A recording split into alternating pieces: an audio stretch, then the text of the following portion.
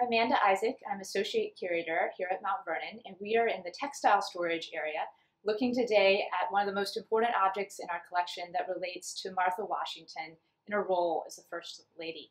She tends to get overshadowed by her husband, uh, President Washington, but she very much used her own role as the First Lady, as the first First Lady, to actively define who we are as an American people.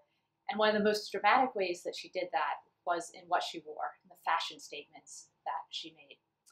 Now, what we're looking at may not look like much, uh, but when you get closer, you see pieces of what are, in fact, very unique, distinctive, handmade silk lace that was made here in America over 200 years ago.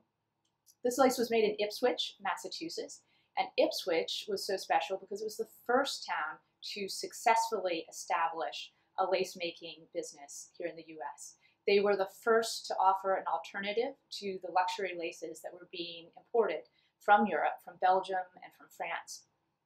So when Martha Washington wears these as a shawl uh, during the presidency, she is making a very clear political statement.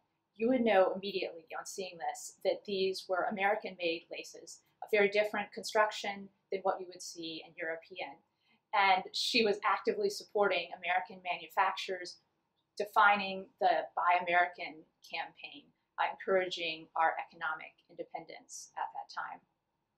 Now, I said we had pieces of Mrs. Washington's shawl, pieces of this Ipswich lace. What we're actually looking at today uh, is a very complex object that's had a long life, uh, that's been constructed from those original pieces.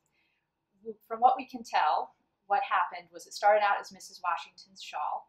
It then got passed down to another generation, and they decided to update it uh, for the fashions of the time. So they added some machine-made lace uh, throughout the center, and then transferred the Ipswich lace to the edges. But then time passes, it gets passed down again. Perhaps something happens to it, it gets ripped, uh, or it just begins to fall apart.